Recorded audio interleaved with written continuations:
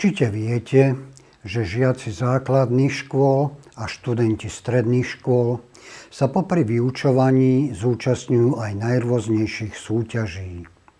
K tradičným vedomostným olimpiádam, športovým súťažiam a súťažiam umeleckého charakteru patria tiež súťaže mladých záchranárov.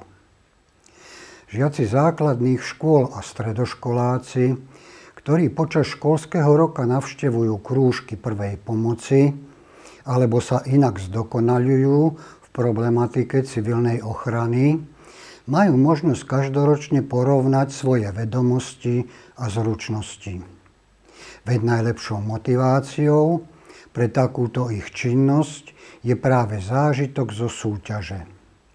Dnes vás zavedieme do telocvične, strednej odbornej školy v Žarnovici, kde sa jedna takáto súťaž uskutočnila v roku 2010. Bolo to územné kolo súťaže mladých zdravotníkov prvej pomoci a zúčastnili sa ho žiaci základných škôl okresu Žarnovica.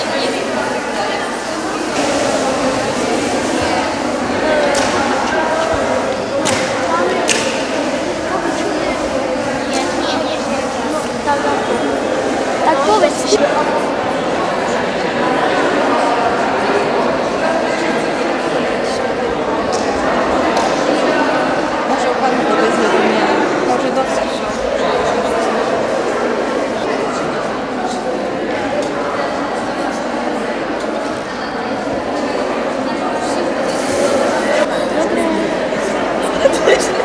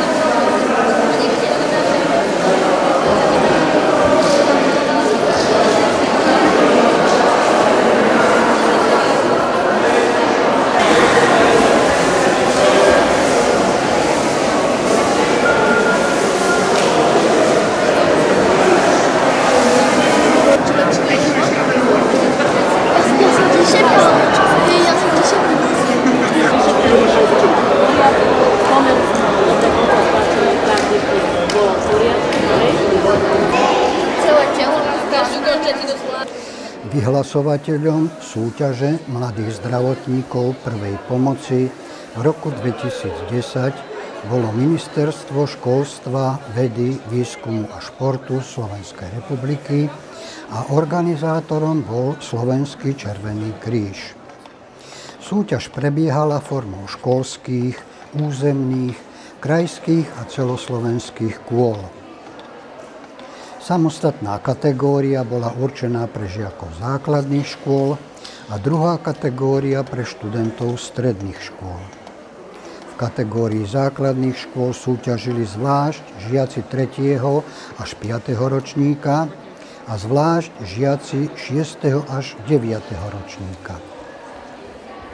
Družstva pozostávali z piatich členov, teoretickej časti odpovedali na otázky o Slovenskom červenom kríži, v praktickej časti jednotlivo predvádzali oživovanie na resuscitačnom modeli a kolektívne ošetrovali namaskované poranenia na figurantoch. Územné kolo súťaže mladých zdravotníkov prvej pomoci 15. mája 2010 na Strednej odbornej škole v Žarnovici organizoval územný spolok Červeného kríža zo Žiaru nad Hronom. Zúčastnili sa ho družstva mladých záchrancov zo základných škôl z Brehov, Hodruše Hámrov, Novej Bane, Žubkova a Žarnovice. Víťazstvá si odniesli mladí záchrancovia, zdravotníci, zo Žubkova a z Hodruše Hamrov.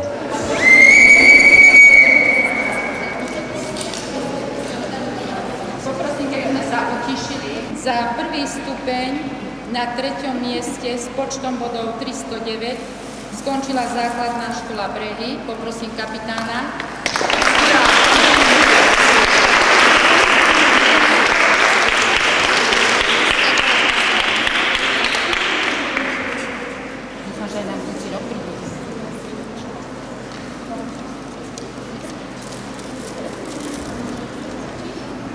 Na druhom mieste s počtom bodov 330 skončila základná škola Hobruša Hámre.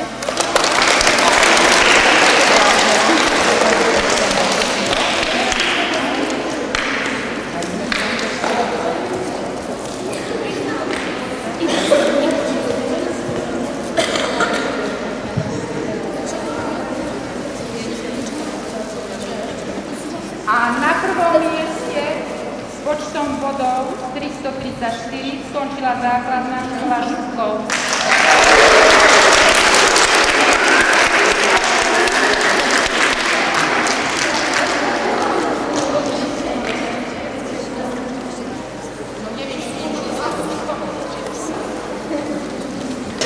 Na treťom mieste počtom bodov 272 Skončila škola Frania Krála, prvé družstvo.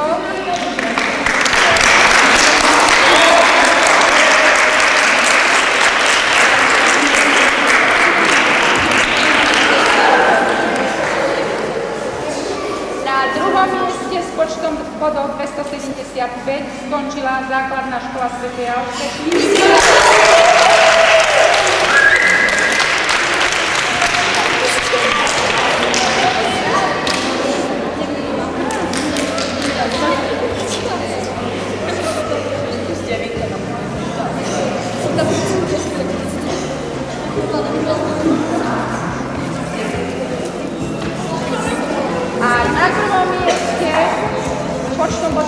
1978 skončila základná škola Vodruša Hámre.